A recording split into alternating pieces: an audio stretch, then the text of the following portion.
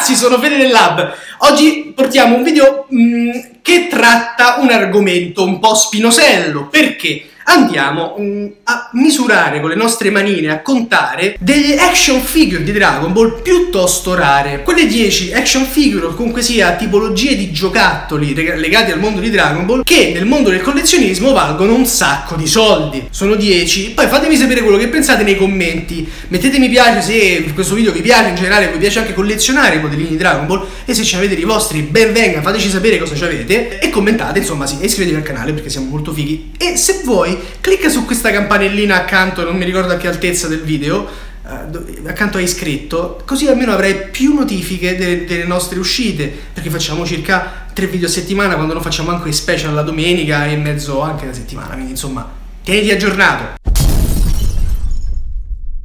Iniziamo questa lunga lista con una casa nostrana, la Giochi Preziosi. Come ben sapete, la Giochi Preziosi ha prodotto un sacco di giocattoli a tema Dragon Ball Z nel corso degli anni e questa serie è un repaint dorata della Super Battle Collection della AB Toys. Questo set include Vegeta Super Saiyan, Piccolo, Goku, Goku Super Saiyan 3, Gotenks Super Saiyan 3 ed è anche un po' strano perché comprende un piccolo con la veste d'oro. Sono considerati piuttosto rari e pare che sia molto difficile trovarne di ancora boxati passati. AB Toys è una compagnia francese conosciuta principalmente perché negli anni ha rilasciato svariate versioni di giochi di Dragon Ball Z dai 12 ai 15 cm e la particolarità molto simile a quella di giochi preziosi è che per quanto sia possibile trovare i modelli senza scatola abbastanza facilmente, così non si può dire di quelli inscatolati. Infatti pare che la maggior parte dei collezionisti affermi di non aver mai visto questi giocattoli nel loro box.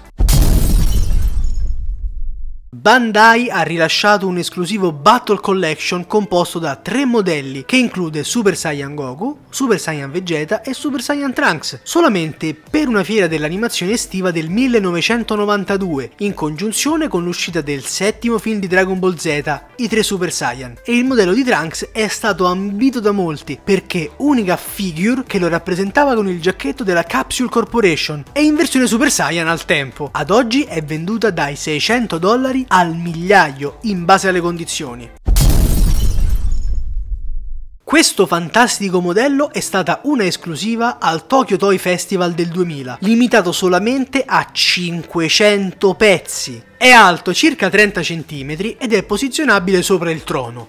E lo trovate in vendita per circa 1000 dollari su eBay, considerando solamente Recold. Invece il Mecha Freezer, che sarebbe da considerare tutt'uno con il modello del padre, è addirittura più raro, attestandosi a solo 100 pezzi prodotti e messi in vendita. Il set completo lo potete trovare su eBay a quasi 2500 dollari.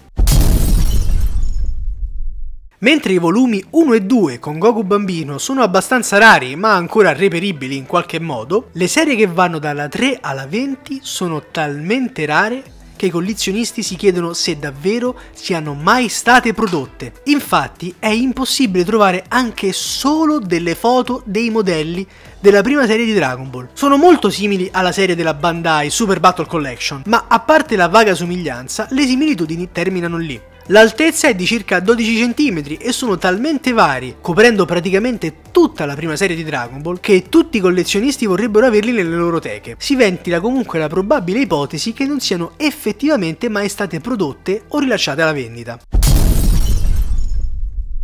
Il modello del 2006 rilasciato durante il Tokyo Toy Festival di quell'anno è forse la versione più rara di Osaru riguardante quella fiera, con solamente 100 esemplari prodotti. Ci sono altre due versioni del modello, quella originale con i colori classici, limitata a 500 copie, e quella che si illumina al buio con 200. È un modello fantastico e sono poche le foto o i video che lo ritraggono.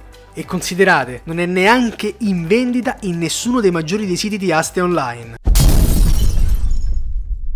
Questo è un pezzo super raro, limitato a soli 50 modelli prodotti. È facile confonderlo con la versione dorata regular, da 1000 pezzi. Ad oggi la versione è in vendita su eBay a 600 dollari, mentre quella con gli occhi rossi non è stata trovata in nessun sito. Credo sia inimmaginabile il prezzo di questa statuetta se fosse messa all'asta. Questa figure viene in tre versioni, quella classica colorata, è uscita in tantissime copie, quella dorata limitata a 100 pezzi e quella nera con solo 20 modelli rilasciati. Questa versione è ricercatissima fra i collezionisti di oggettistica di Dragon Ball e il prezzo si aggira intorno agli 800-1000 dollari. Parlando onestamente, tutte le statue Zim che riguardano il combattimento di Goku e Vegeta sono piuttosto rare, e sono tre per essere precisi. La classica con 50 copie, che sono comunque pochissime, la versione nera con 20 copie e rullo di tamburi, la white version con solo 5 pezzi. È talmente rara che esistono pochissime foto del modello, sicuramente è un sacro graal per tutti i collezionisti.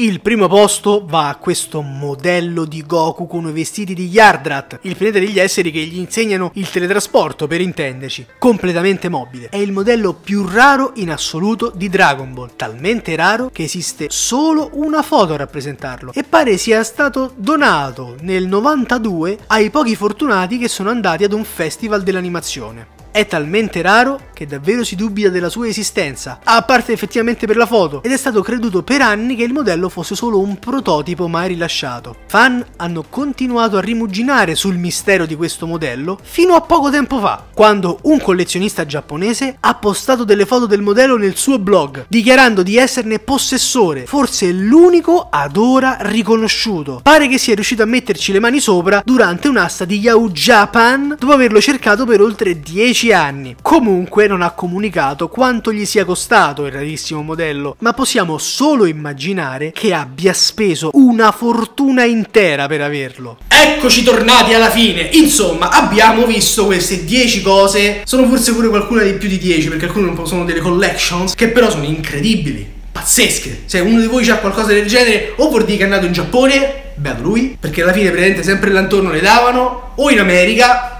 Beato lui uguale, perché comunque sia niente male. Scrivi nel commento cosa ne pensi di queste incredibili uh, action figure e giochi legati al mondo di DB. Ultima cosa, abbiamo Patreon. Se ti interessa darci una mano per vedere un po' di cose alternative, seguire un po' di più il nostro canale, viverlo un po' di più, da, facci, faccio, facci, un salto e vedi un pochino uh, le varie opzioni, sono tante. Da Fede è tutto, stelabba al prossimo video.